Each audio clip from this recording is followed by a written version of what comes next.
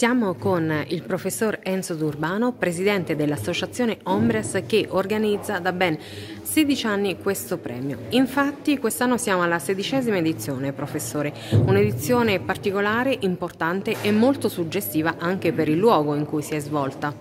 Sì, eh, sì suggestiva e anche molto emozionante perché è stato un ritorno a casa del premio, perché il premio Ombres è nato a Pereto eh, nel 2004 eh, e ha vissuto eh, sette anni di, di, bella vita in questo borgo, poi è diventato itinerante nei borghi autentici d'Italia e quest'anno è tornato a Pereto per volere dell'attuale sindaco eh, Giacinto Shaw e quindi è stato particolarmente emozionante tornare in questa chiesa splendida di San Giovanni Battista e parlare di cultura, di, di relazioni, di relazioni soprattutto legate alla cultura. Quindi la vera emozione sta tutta qui.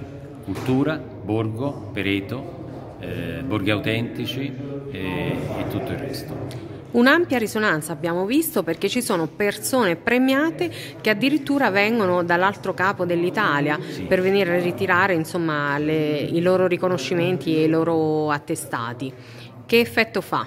Allora, questo è l'effetto più bello in assoluto, perché il premio è nato oh, nel 2004 con, una, eh, con un'idea, quello di portare gli altri che pensavano, che organizzavano, che eh, scrivevano, fotografavano, cioè portare persone interessate eh, della cultura in un piccolo borgo. Questa era l'idea e non era facile da mettere in piedi perché, perché, in effetti non è facile. Però devo dire che con qualche idea un pochino suggestiva, con qualche voglia di fare eh, di farlo fino in fondo questo discorso, alla fine è accaduto, cioè è accaduto e edizione per edizione si ripete questa, questa meraviglia, cioè che le persone vengono, se premiate, vengono a ritirare il premio e quel momento è un momento magico perché si incontra una piccola comunità con persone che vengono da tutta Italia e questo è un momento toccante ma soprattutto è un grande momento di cultura.